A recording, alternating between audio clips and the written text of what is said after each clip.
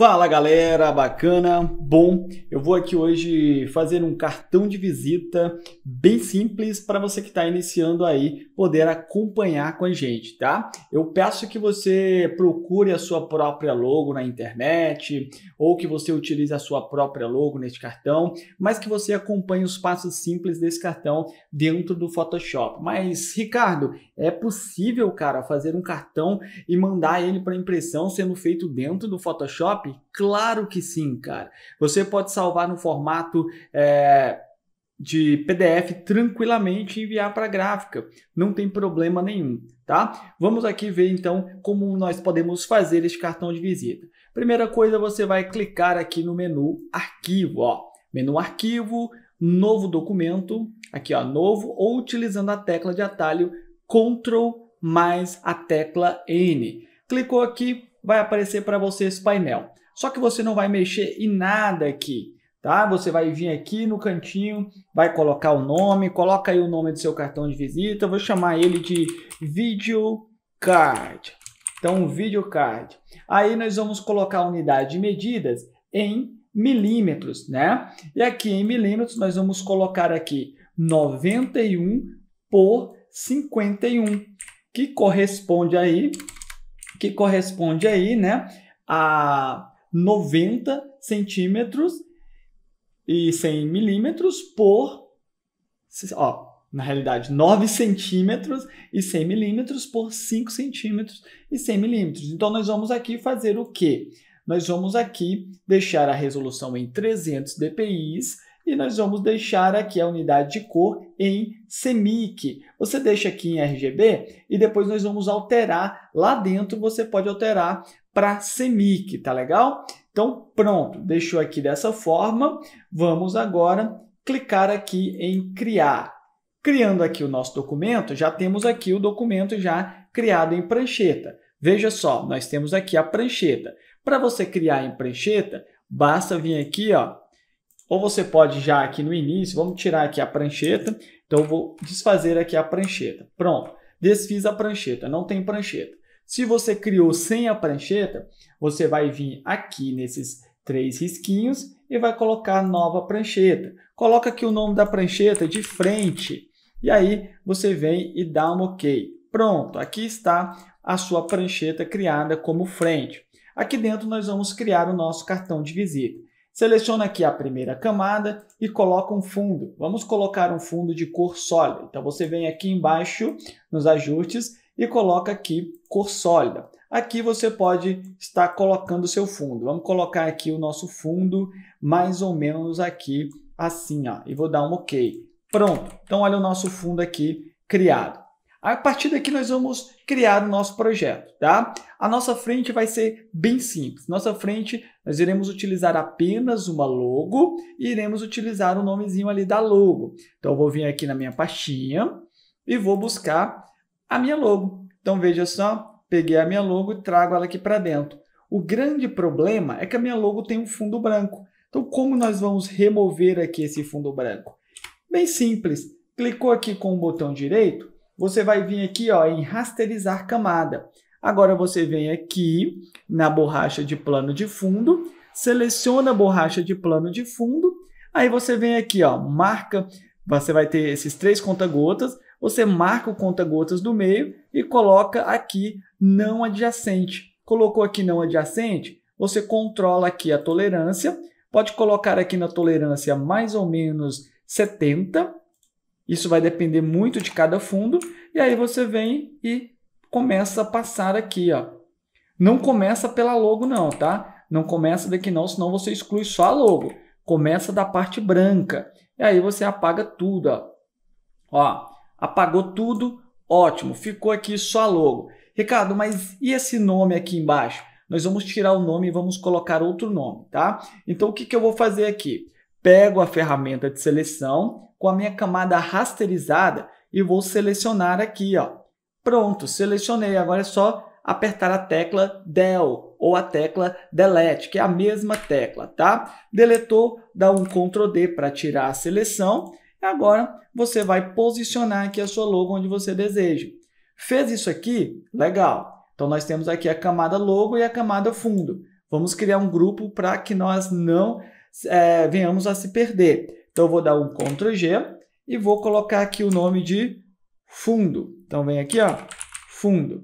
E na de cima eu coloco um grupo também com Ctrl G e coloco o nome do grupo de logo. Pronto, então eu tenho o grupo fundo e o grupo logo. No grupo logo aqui, eu vou selecionar a logo, vou pegar a ferramenta de texto e eu vou colocar aqui o seguinte. Vamos colocar um nome, nós vamos colocar o nome aqui de é, Corel, vamos colocar aqui, ó, Corel Snake. Pronto, colocou Corel Snake. Ou você pode colocar o seguinte, vamos fazer aqui uma homenagem. Vamos colocar acesso designer. Então, acesso designer é, inclusive é um canal de um grande parceiro meu. Você vai lá, se inscreve no canal dele. Se você digitar aí no YouTube Acesso Design, você vai conseguir aqui encontrar o canal dele, tá? O nome dele chama Breno. Então vai lá e se inscreve no canal dele e vamos ajudar ele lá a conseguir aí os inscritos que ele precisa. Vou vir aqui e vou clicar em uma das cores para adicionar aqui no meu cartão. Ok, vou dar um ok e aí eu vou fazer o seguinte, coloquei aqui acesso design, vou diminuir e agora eu vou colocar aqui uma grade para que possamos nos orientar através dessa grade. Venho aqui em visualizar e coloco um novo layout de guias. Em novo layout de guias eu vou escolher uma grade. Ó, a minha margem aqui de segurança está em 90 pixels. Tá legal? Então 90 pixels. Deixo aqui os 90 pixels, tá legal para o meu cartão aqui no momento. E aí eu posso criar até mais colunas aqui, se necessário, ou até mais linhas. Ó, eu posso estar adicionando o número de linhas aqui é, para o meu projeto. Eu vou deixar aqui nessa quantidade de linhas para mim tá legal, quatro linhas e três colunas. Dou um OK, venho aqui, seleciono os dois e vou diminuir, ó Vou diminuir e trazer aqui para o centro. Vamos agora aumentar e posicionar ele aqui no centro. Prontinho. Vamos deixar assim. Então pronto, tá aqui, ó. Se eu quiser aqui embaixo ainda, eu posso adicionar também uma, um outro nome. É, canal. Eu posso colocar aqui também, ó. É, YouTube. Pronto. E aqui eu vou colocar canal. Canal YouTube para você saber que é o canal dele do YouTube, tá? Vamos colocar aqui uma fonte mais fina. Então, vou pegar a família Swings, que foi a fonte que eu utilizei aqui, Swings, tá vendo? E aí eu vou colocar aqui, ó, Swings, e vou colocar uma fonte mais fina. Vamos pegar aqui uma fonte como essa daqui, ó. Essa aqui de cima. Deixa eu ver aqui. É, ou pode ser essa light aqui, que é bem fininha. Então, vou pegar a light e vou colocar de branco. Coloquei de branco, dou um Ctrl T e vou diminuir. O Ctrl T é para abrir a caixa de transformação. Vou diminuir. Agora, seleciono tudo e levo para cima. Vamos deixar mais ou menos aqui. Beleza, criamos aqui a frente do nosso cartão. No nosso caso aqui, você pode estar alterando o fundo, colocando mais preto, mais cinza, assim, ó, deixando mais cinza, deixando branco e trocando também é, os nomes, também fica bem legal, né? Você pode fazer isso aqui e trocar os nomes, ou deixar escuro aqui, ou cinza dessa forma, não tem problema nenhum, tá? E aí você vai dar um OK, dá um OK aqui, certinho. Aqui está a frente do nosso cartão. Tá legal, Ricardo? Você nos ensinou aí a fazer a frente do cartão. E agora, como nós vamos fazer o verso? O verso é muito simples. Você já não tem a frente aqui do seu cartão? Então, o que, que você vai fazer? Você vai dar um Ctrl J duplicando. Ele vai criar um cartão do lado aqui para mim. Ó. Então, ele criou um cartão do lado chamado frente cópia. Nós vamos clicar duas vezes no nome e colocar verso. Então, vamos lá, letra maiúscula, verso. Pronto. Aqui nós temos a frente, aqui o verso. Agora vamos criar o verso aqui. Já temos a grade, vamos tirar essa parte da logo, vamos pegar este nome aqui e vamos posicionar ele em um local diferente, ó, só a linha aqui, e vamos colocar ele mais ou menos aqui nessas duas linhas. Posso aumentar um pouco mais ou posso diminuir, vai depender aqui do que eu vou aprontar dentro desse cartão, certo? Vamos deixar dessa forma aqui, e aí você vai fazer o que agora? Você vai fazer o seguinte, você vai buscar aqui, ó, selecionar a primeira camada, daí você pega a ferramenta retângulo, cria aqui, ó, um, um retângulo, ó, então, cria um retângulo mais ou menos até aqui, coloca ele, você pode fechar isso aqui, clica duas vezes aqui ó, nesse quadradinho e coloca ele dessa mesma cor. Ó. Ótimo! Você vai vir nas propriedades, que é esse botãozinho aqui, você pode vir aqui em janelas, e aí você vai marcar a opção de propriedades aqui embaixo. Aí vai aparecer essa propriedade para você. Você pode vir aqui, deixa esse cadeado marcado, e aí você vai arredondar aqui os cantos. Ó, vamos puxar aqui, ó. Vamos puxar para cá para poder acompanhar ali como que ele está arredondando os cantos. Ó. Puxa até o máximo aqui para arredondar tudo. Pronto, arredondou. Legal demais, né? Vamos agora pegar a ferramenta aqui de seleção. Vou dar um Ctrl T e aí eu vou puxar para cima aqui com o Shift para ajustar. Ajustando, eu posso ajustar também com o Shift a largura e aí vai ficar assim. Ok, vamos pegar aqui esse nome Acesso Design, que é a nossa logo, e também o nome do canal, calma. Deixa eu tirar isso daqui daqui e trazer para cá. Então vamos aqui, ó, selecionar tanto o acesso quanto o canal aqui embaixo. Eu vou dar um Ctrl T, ó, e aí eu vou trazer para cá. Vamos colocar mais ou menos aqui, ó. Pronto, eu vou diminuir um pouquinho e aperto Enter. Diminuir eu vou deixar aqui.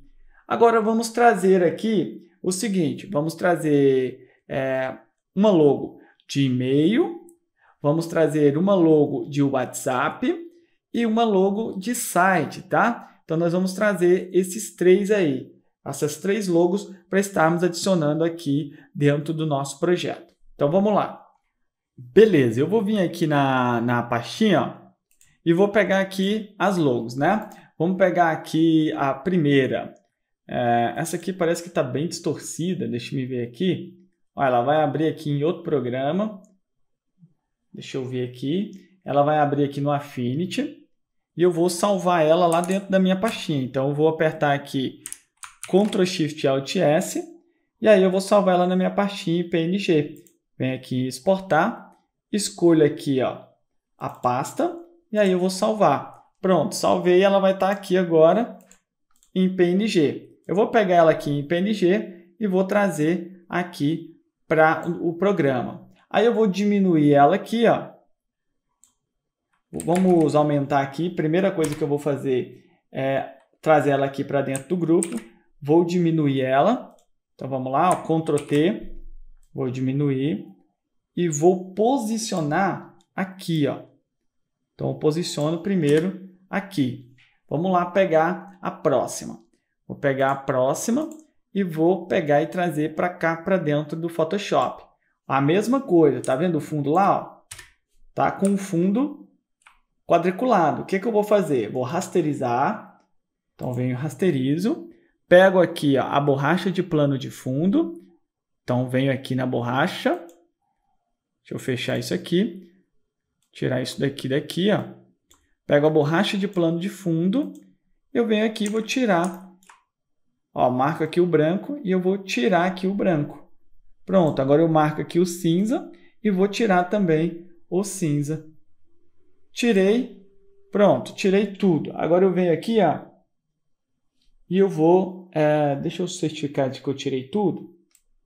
Ó, parece que ficou em algumas partes ainda. Então, vamos voltar aqui Deixa eu tirar primeiro o cinza, tá? Vem aqui, pega a borracha de novo, marco caixinha cinza e tiro todos os cinzas e branco de uma vez, porque é, mais ou menos tem ali a mesma tonalidade, tá vendo? Então agora eu tirei tudo. Aí eu pego, vou agora converter em objeto inteligente, clico com o botão direito aqui, ó. Então vamos lá, vem aqui nessa camada, clica com o botão direito, coloca converter objeto inteligente. Pronto. Vou vir aqui e vou diminuir com o Alt pressionado. trago para cá e posiciono aqui. Vamos lá, vou pegar o próximo. O próximo aqui é de e-mail. Então, eu trago aqui para dentro também. Ó, a mesma situação, veio com fundo. E aqui eu posso pegar a borracha novamente. Vou rasterizar, porque senão não funciona. Então, rasterizo a camada e apago. Ó. Apaguei aqui, tá? E aí eu vou agora converter em objeto inteligente. Clico com o botão direito, converter em objeto inteligente. Dou um Ctrl T, vou diminuir e trago para cá. E aí vamos com o Alt pressionado diminuir. Ótimo. O que, que eu posso fazer agora? Nós vamos ajustar aqui justamente a parte dos ícones. Nós vamos criar aqui bolinhas e colocar todos eles dentro. Então, eu trago para cá para o canto. E aqui eu vou criar elipse. Ó. Ó, seleciono aqui e vou criar elipse. Ó. Vamos lá, pego aqui a ferramenta elipse. Eu crio uma elipse aqui com o Shift pressionado, que é uma elipse redondinha. Para que ela fique no mesmo tamanho ali, ó, deixa eu trazer aqui para cá, para que ela fique no mesmo tamanho aqui, eu coloco ela em cima e eu vou diminuir ó, até ela ficar do mesmo tamanho. Trago para baixo. Agora sim, vai ficar legal. Eu faço uma cópia com o Alt pressionado, arrasto para cá. Outra, pressiono Alt, ó, arrasto de novo com Alt e Shift pressionado. Ó. Quando tiver do mesmo tamanho, ele vai mostrar em cima e embaixo que está com 12 pixels. Você tira e pronto. Traz aqui para cá e aí você clica duas vezes na camada e coloca em sobreposição de cor. Colocou na sobreposição de cor, ficou branco, dá um Ctrl T e diminui. Encaixa aqui, ó. Encaixa isso aqui. Mesma coisa, traz para cá, coloca aqui no centro clica duas vezes na camada, opa, clica aqui ó, duas vezes na camada dela, ó, ó, pegou na de cima, então vamos clicar aqui, ó, ó, clica duas vezes, coloca sobreposição de cor, deixa branco, e aí daqui a pouco você diminui, ó, o mesmo aqui, clica duas vezes, não, onde não está o nome, coloca sobreposição de cor, coloca branco aqui nessa caixinha e diminui. Agora você pode diminuir aqui, ó, mantendo ali o mesmo tamanho da outra. Para você ver que realmente está no mesmo tamanho, abra a régua, dá um Ctrl R, abra a régua, coloca aqui ó, na linha, tá vendo? Ó? Deixa eu dar um zoom aqui. Ó. Você coloca na linha, pronto, traz outra e coloca aqui nessa linha. Beleza, agora é só diminuir, ó. Chega para o lado, dá um Ctrl T, diminui, pronto. Mesma coisa aqui, ó. Ctrl T, diminui aqui, ó. Diminui daqui também. E pronto, coloca na mesma posição, tá? Para as elipses sair certinho aqui no meio também, você pode selecionar o primeiro, colocar aqui, ó, que aí você sabe se está no meio certinho, ó, porque aqui não, não está no meio. Ó. É, esse nosso objeto aqui, esse branco, não está no meio da nossa elipse. Ó. Então, para ele ficar no meio, ó, chega ele aqui com o Ctrl T, ó, para ficar certinho. Agora sim, você ajeita essa linha aqui, porque ela não estava certinha. Então, traz ela aqui para o pixel e traz essa daqui também. Pronto, ó. vai diminuir, dá um Ctrl T e diminui, joga para o lado. Pronto. Aqui também, ó, joga para o lado, aqui, ó, seleciona esse de baixo, joga para o lado e aí vai ficar no centro. Ó, beleza. É diminuir, faz isso aqui. Pega aqui agora o mesmo nome do canal, com o Alt pressionado, arrasta para baixo com o Shift também pressionado. Aí você vai colocar aqui, ó, aqui é o WhatsApp, você coloca o número de telefone. Qual é o número de telefone? Coloca um número aleatório. Coloca aqui qualquer número. Ó. Barrinha. Ó, no meu caso, eu vou usar aqui qualquer número até mesmo um número que não existe aqui para não dar problema, né? Ó, chega ele aqui, a linha, tá? Traz o próximo. Qual que é o próximo? Próximo aqui é o site, então traz para cá, coloca www.corelsnake.com.br. Pronto. Você vem aqui, ó, puxa ele, vai aparecer essa linha roxa dizendo que está alinhado. Prontinho. O próximo é o e-mail. Qual que é o e-mail? CorelSnake oficial arroba gmail.com e aí você deixa aqui o seu e-mail. Então veja, ó, coloca ali até a linha roxa aparecer, ó. Pronto, ou seja, está alinhado aqui. Agora você só vai controlar aqui esse espaçamento e certinho. Aí está tudo alinhadinho, ó, tudo dentro é, do, do, do padrão, né? Então é um, um projeto de cartão bem simples. Deixa eu aqui ajustar ele aqui para você ver. Ó. Vou colocar aqui é, para não tampar a visualização e fazer isso aqui. Ó. Então olha aí. Ó. É um cartão bem simples, mas bem simples mesmo só para você entender como que funciona. Se você quiser mudar essas cores aqui, ó, tem problema não. Pode vir aqui e mudar as cores. Ó. Pega essa outra cor aqui, utiliza ela, pode, pode mudar as cores aqui também, ó. Ó, tá vendo? Então, muda as cores aqui, ó. Pega essa outra cor ali, mas uma cor que esteja presente na sua logo, tá bom? Ó. Pronto. Aqui no, nessa parte aqui do Access Design, você pode colocar tudo branquinho também, ó. Ó vamos colocar aqui tudo branquinho. Isso. Aqui também, se você quiser colocar tudo branquinho, não tem problema. Se você quiser usar é uma cor uniforme, também não tem problema. Se eu coloco uma cor uniforme, no caso, na logo, desde que o, o dono da, do projeto aceite aí você está alterando a logo dele, tá? Então, olha aqui, um cartão simples, bem fácil de fazer. Deixa eu aqui mostrar ele grande. Olha aí, simples, bem fácil de fazer. Agora é só você salvar em PDF se você quiser, deixa aí nos comentários que eu vou te ensinar a como você pode salvar em PDF para você mandar para a gráfica. Tá legal? Aí, mas o projeto é justamente isso daí. Olha para você ver como é fácil fazer. Isso é um cartão mais é, empresarial, corporativo ali, de uma empresa mais séria, que não leva imagem, não leva nada. Somente aqui uma cor chapada no fundo. Até mesmo você pode utilizar esse cartão com verniz localizado para verniz localizado, você tem que fazer diferente. Você tem que fazer uma página aqui com a sua logo normal e uma página com a máscara de onde você quer aplicar o verniz localizado.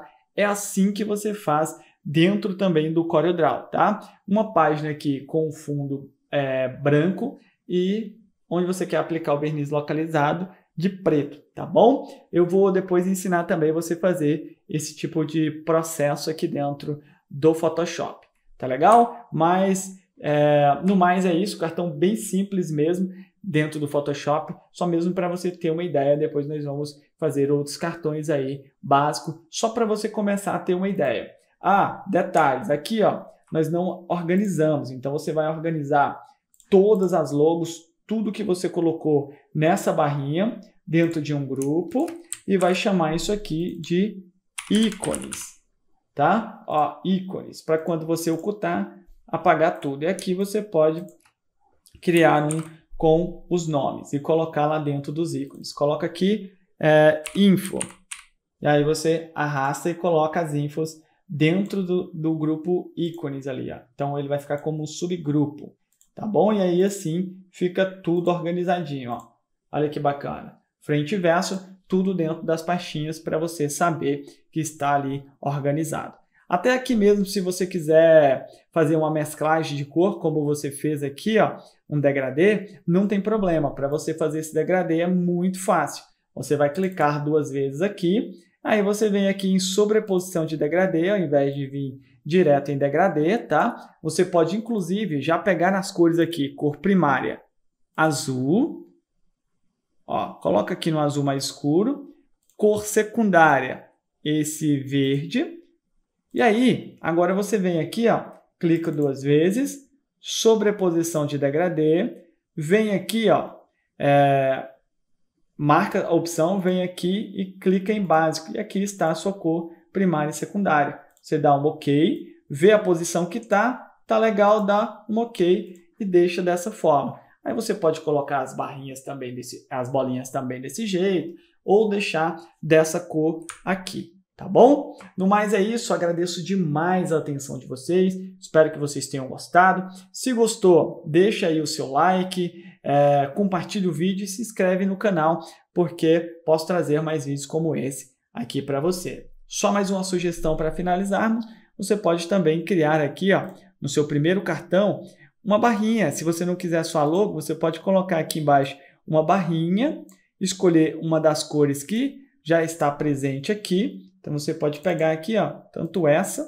quanto essa, para deixar aqui com o site, ou, ou apenas também uma barra, né? Ou apenas mais uma barra para ficar aqui embaixo, só como divisão, para dizer assim, ó, se no cartão verso tem, na parte do verso, na frente também tem uma barrinha lá. E aí você precisa levar essa logo um pouquinho mais para cima, já que você utilizou a barra. Tá legal? Então é isso, abração, espero que você tenha gostado e nos vemos aí no próximo vídeo.